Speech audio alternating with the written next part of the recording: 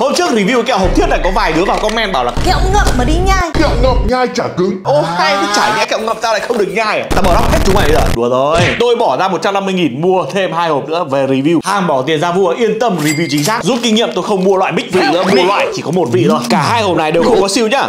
Tuy nhiên người bán nói tùy vào từng đơn hàng từng nhà máy sản xuất sẽ có siêu hoặc không có siêu. Clean Eye. Lời thì thầm của đá Wow, mùi đá mà thơm thế là thơm cái mùi vani nhưng mà cái hương vani cực kỳ nhẹ nhàng luôn. Vị đá có màu vàng chanh hơi nhạt tôi thấy giống cái màu lê ở cái bích vị. Anh chị em nhìn hai màu có giống nhau đến 99 phần trăm mà. So sánh hương vị.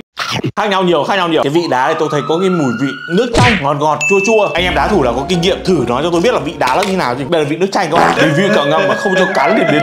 Bao giờ hết được một viên các bạn. Này nó chua gắt nó ngọt cũng gắt luôn. Ra xuống cái cuống họng này cũng phê hết đấy. Vị đá không giống đá. 7 điểm. Strawberry dâu tây. Các bạn nhìn ở đây này. Thấy chảy mật chưa? Mà lái ăn mà không chảy mật không bao giờ tôi ăn kẹo này nữa. Mùi bình thường lắm còn không ngon như loại tẩm đá. Ăn cuốn đấy. Anh em vị đá. Màu đỏ đun khoảng 30 viên. Tôi nói thật cái này tiết kiệm thật sự. Nếu các bạn ngậm có khi phải 10 ngày mới hết một hộp. Thơm giống cái vị kẹo dâu dẻo ấy. Ngọt ngọt thơm thơm béo béo.